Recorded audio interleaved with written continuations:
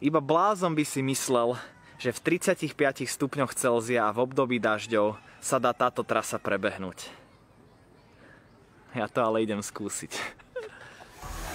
Hovoril som, že toto je pravdepodobne ten najbizarnejší, najšialenejší a najzaujímavejší nápad môjho života vzhľadom zdravotným ťažkostiam. Je to dosť možno aj najhorší nápad môjho života.